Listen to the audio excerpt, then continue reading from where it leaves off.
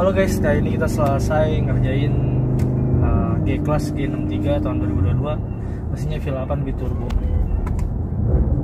Kita gas dikit ya guys.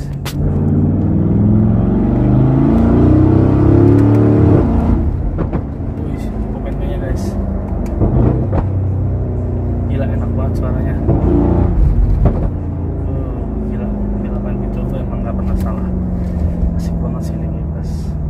kalian yang punya G-Class langsung aja ke kelas Nexa kita bikin.